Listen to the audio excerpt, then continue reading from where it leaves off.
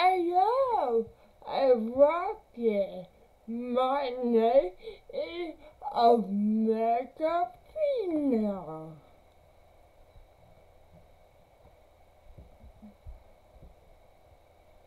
It is a good morning to everyone. Happy Sabbath.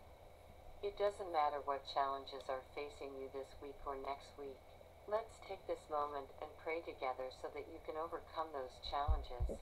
Lord, may nothing separate me from you today. Teach me how to choose only your way today so each step will lead me closer to you. Help me walk by the word and not my feelings. Help me to keep my heart pure and undivided.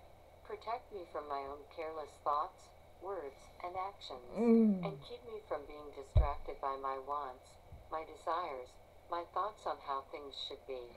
Help me to embrace what comes my way as an opportunity, rather than a personal inconvenience. And finally, help me to rest in the truth of Psalm 86:13. Great is your love toward me. You already see the ways I will fall short and mess up. But right now, I consciously tuck your whisper of absolute love for me into the deepest part of my heart. I recognize your love for me is not based on my performance. You love me warts and all. That's amazing. But what's most amazing Yeah. is that the Savior of the world would desire a few minutes with me this morning. Lord, help me to forever remember what a gift it is to sit with you like this. Amen. Lisa Amen. Wrote this prayer. I would like to invite you to write down your prayers for this week in the comments below.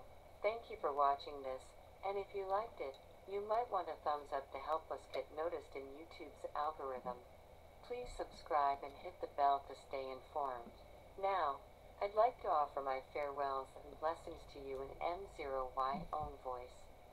Mega open failure. I, I hope to see you again, but another bit maybe I'll get that. God bless.